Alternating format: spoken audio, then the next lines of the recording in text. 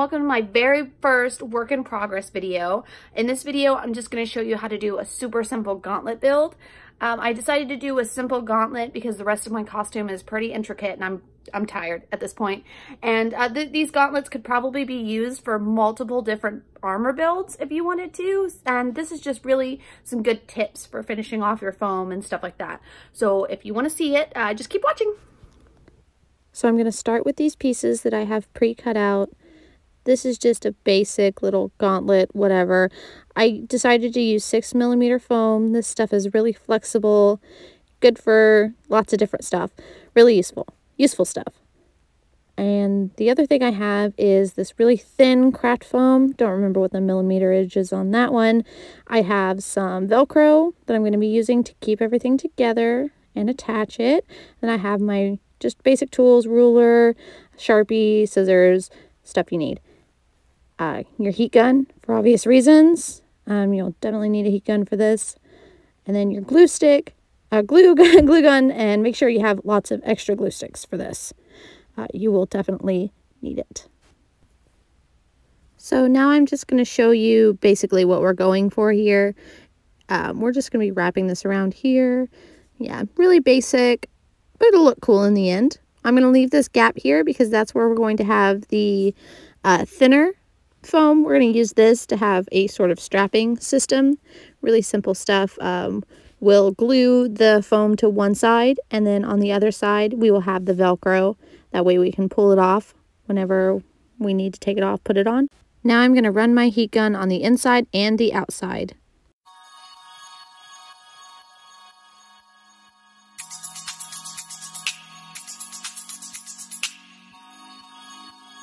Next, you're going to lay your arm down about where you'd like the armor to sit on your arm. And you're going to fold the side over while it's still a little bit warm.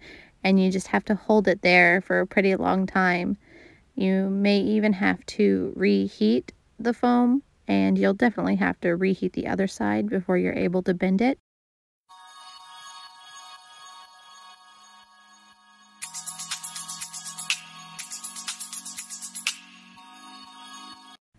Our piece looks like it could still use some love, so we are just going to reheat it all up. Make sure you get everywhere so it bends evenly, and you're just going to hold it really tight.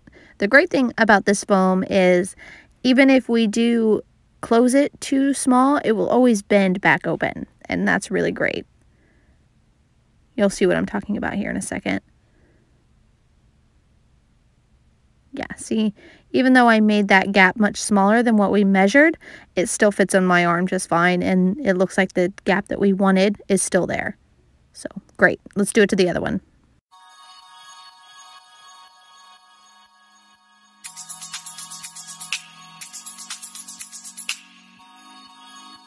Yeah, yeah.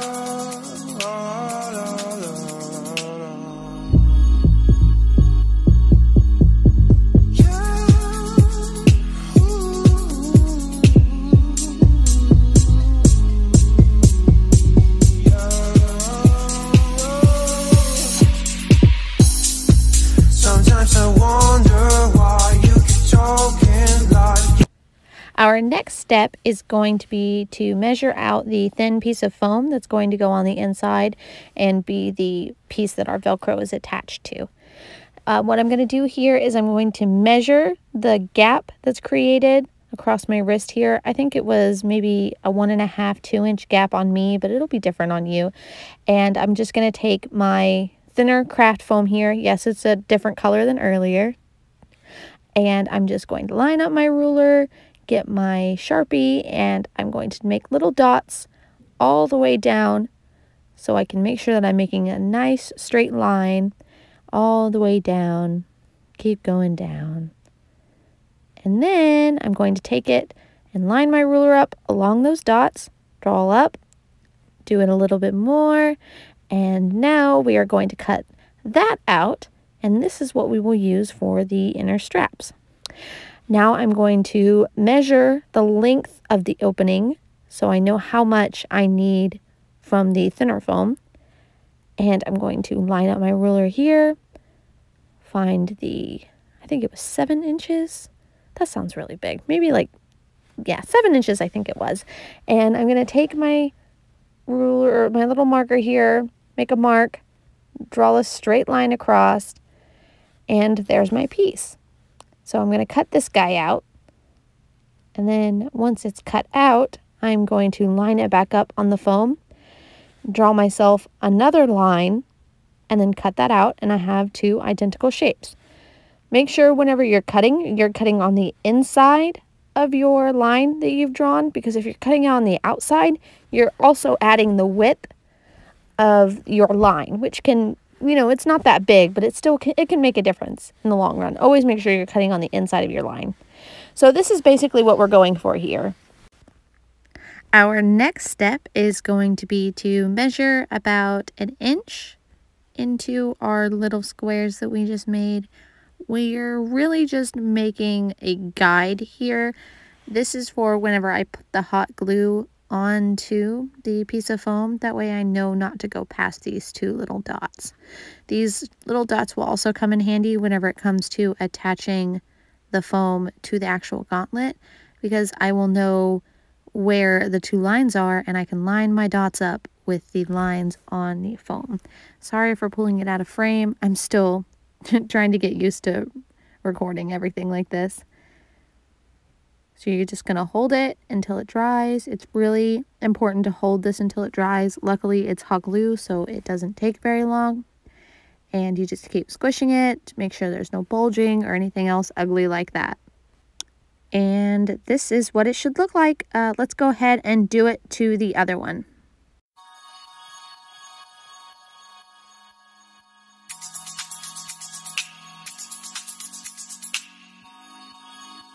Yeah, yeah, la, la, la,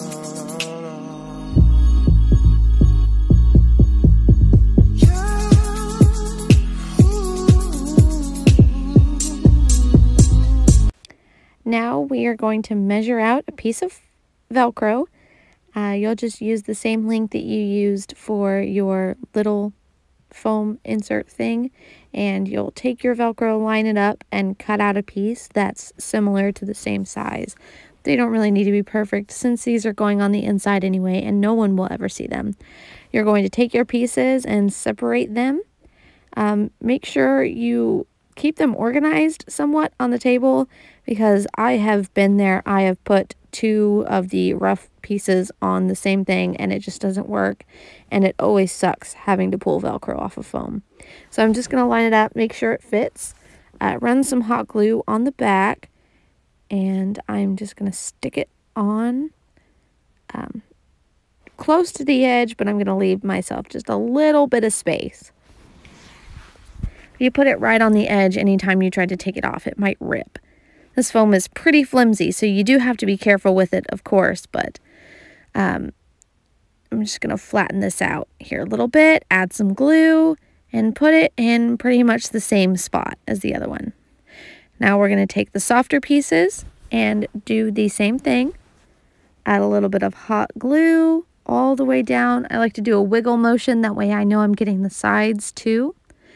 I'm going to open up one of my gauntlets and put it on the inside, giving myself the same amount of room on the outside as I did on the inside. Holding it down till I know it's good and dry. Perfect. Now I need to do it to the next one.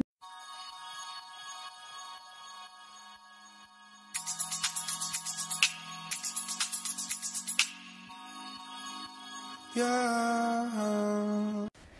And here's what it looks like whenever I tried it on. They fit pretty good. Um, you can always rehit this with a heat gun if they're too loose for you. Uh, it's just whatever you need to do to them to make them fit. To prime the pieces, I'm going to be using this matte black Paint Plus primer. This stuff is really good coverage. It works super great. It yeah, it's super great. Can't recommend this stuff enough. I love using it. And this right here is my shiny purple. This is what I'm going to put over the top. It is paint plus primer as well, but it also has a glossy top to it. And I love it. Well, I messed up big time. You see these dents? That's because I was impatient whenever I was painting. Luckily, I have a backup plan. So, in order to fix my horrible, horrible mess, I am going to measure out a one inch little strip of foam that I'm just going to have go down the very center of it. Um, it's going to look like it's just a little piece of detail and nobody but me, you, and I guess whoever else watches this video will know that I messed up. And we honestly, we don't have to talk about it. Um, I'm just doing what I did earlier and measuring out a nice straight line and then I'm going to cut that out. Um, looks like I messed up on my line here and I'm just straightening it. Uh, this foam that I'm actually using right now is a sticky back foam, which this foam, does the stick on it, it sticks to paint really well. So I'm pretty confident in using it um, without anything extra. Doesn't really need anything extra. Now I will just trim this strip up to make sure it's perfectly straight, straight as I can possibly get it. Um, and then I'm going to measure it to see how long, and it looks like it's not quite long enough to get two out of the one strip. So I'm going to have to measure myself out another one.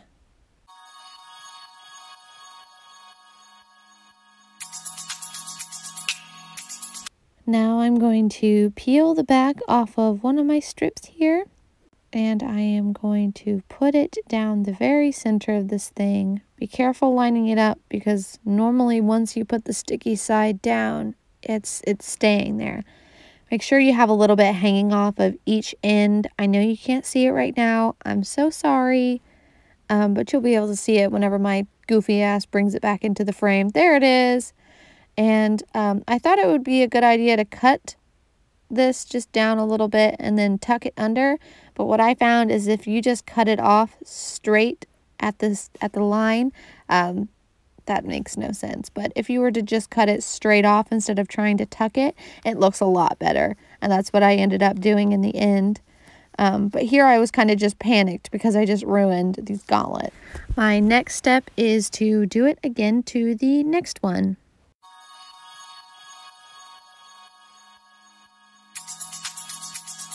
Next, you prime and paint again.